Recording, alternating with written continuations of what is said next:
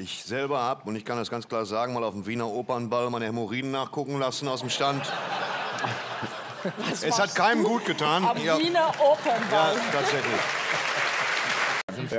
Ähm, was sind wir? Wir sind pro. Wir, sind, wir, sind genau. froh, wir, wir sagen, Wir äh, sagen vegetarisch. äh, Ja, wir vegan. Vegan sogar. Vegan ja gut, dann sogar. nur Grünzeug für den Hund. Dann kannst du, wenn er dir auf die Straße kackt, das musst du dann auch nicht aufwischen, das pflückst du dann quasi. Und das halte ich für eine sehr saubere Lösung.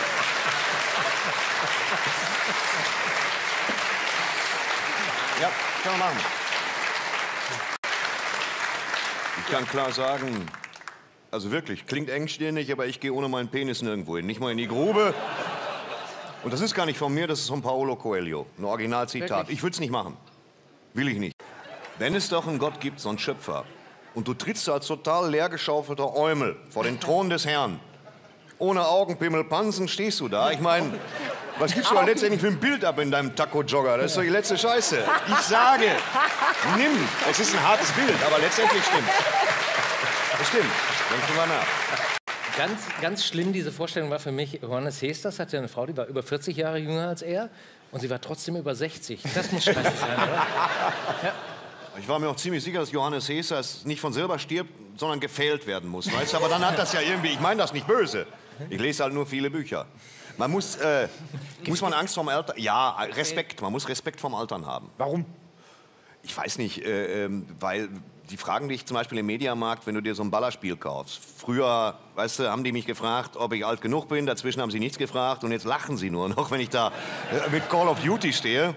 Ich habe eigentlich keine Angst davor, alt zu werden. Ich habe Angst davor, eines Morgens aufzuwachen, eine Korthose anzuhauen. Dann hänge ich mir auf. Dann ist vorbei. Weg bin ich. Und das ist halt die größte Furcht, die in mir brennt. Weg, sofort. Aluleiter, Draht. Es ist so. Aber Ist das. Äh, Kurt macht alt. Ne? Ni- äh, pass mal auf. Nicht bei dir, Ne, Moment. Moment. Nicht bei dir. Nichts macht so alt wie tragen. Nichts. Kord, ich kann das ruhig sagen. In Texas können Vierjährige Brandwein kaufen, wenn sie eine Korthose anhaben. Und das solltet ihr klar machen. Das habe ich mir ausgedacht, sicher, aber es klingt wahr. Und das zeigt dir, wie alt Kord wirklich. Nichts macht so alt wie Kord, außer das Alter und Kord. Das sind zwei Sachen. Das macht wahnsinnig alt. Und es trägt auch auf. Es trägt auf, es ist unfassbar. Da wird es auch so, so No-Go-Areas geben, so Baden-Baden zum Beispiel. Durchschnittsalter 67, da traut sich ja kein Polizist mehr hin, wenn Ja. diese ganzen kriminellen alten Leute am Roulette-Tisch stehen. Und Oder auf der Kölner Domplatte, weißt Ja, du, wo, wo so, so, so mittelalte Damen in Feinstrick Nordafrikaner antanzen zu Anna Haller und dann zack, Portemonnaie weg, Butterfahrt. Ganz, ganz schlimm. Kannst du, also Ehevertrag. Wer mich heiratet, mit mir zusammenlebt, der hat sich jeden Cent verdient. Ich würde gar keinen machen. Also, ehrlich. Ich Der sage, Traum, In Frankenstein. Wir haben jetzt in der Frühphase gesehen, was passiert, wenn man einem Amerikaner eine tote Ente auf den Kopf schraubt. Der versucht jetzt Präsident zu werden. Ich sage nein, nein, nein. Aber, Moment.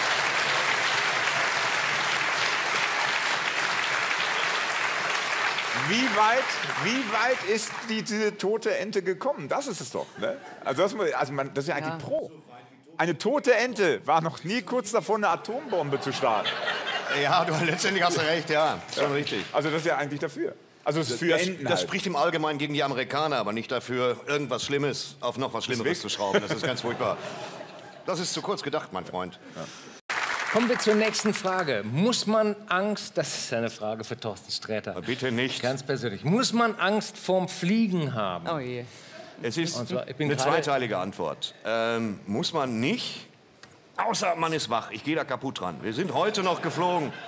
Ich, es, das ganze Konzept kann nicht funktionieren, das muss Ihnen klar sein. Mit Fremden in der Metallröhre sitzen, in die Luft geschossen werden, dann Brötchen essen müssen, ist gegen die Natur. Ja, Es ist gegen die Natur.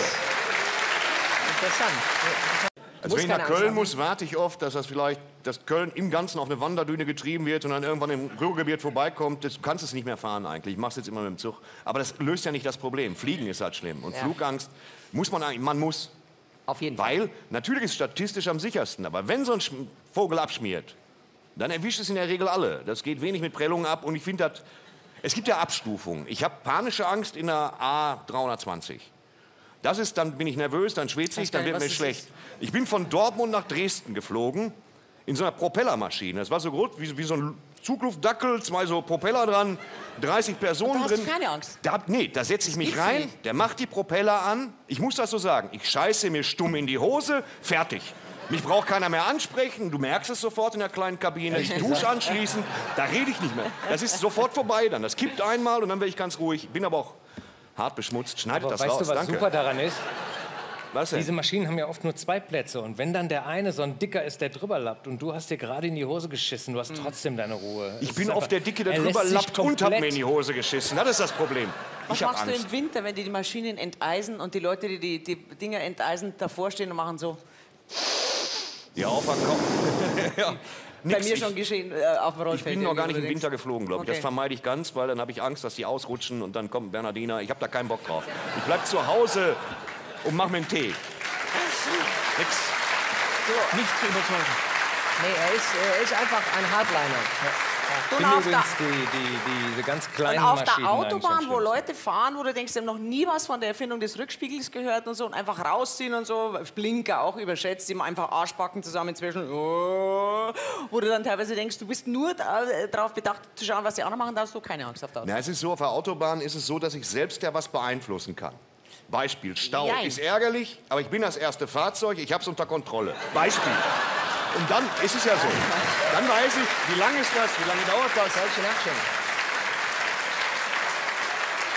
Also, Angst beim Autofahren habe ich noch das Gefühl, ich arbeite mit. Weißt Ja. du?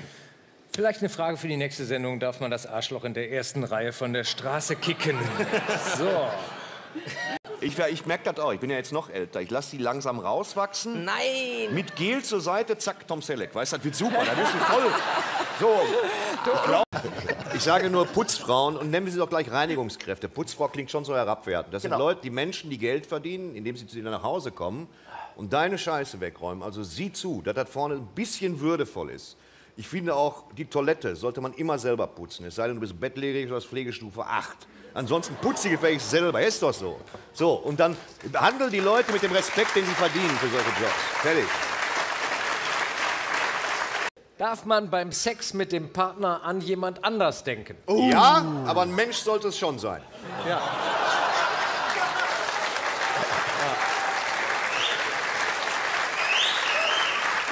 Wieso habe ich mich dann beworben? Damit du im Schloss Bellevue im Garten sitzen kannst, kriegst Bienenstich und ab und zu machst du die Bundesgartenschau auf. Da schneidest du so ein Band durch, fertig ist die Laube. Mehr ist das nicht. Ja, und das kann mir, kann mir bitte. Kann mir, kann mir bitte irgendjemand verraten, inwiefern sich dann mein Job irgendwie von dem unterscheidet, Weil was ich wir, heute es mache? wird wir alle möchten, wird schlimmer. dass es, Es wird eine, schlimmer. eine Neujahrsansprache gibt, wo einmal das Wort Penis drin vorkommt. Und deswegen Und Kant. möchten wir das auf jeden Fall. Ich möchte Silvester da sitzen, dann möchte ich hören Penis, Penis, Penis. Das wäre schön. Ja.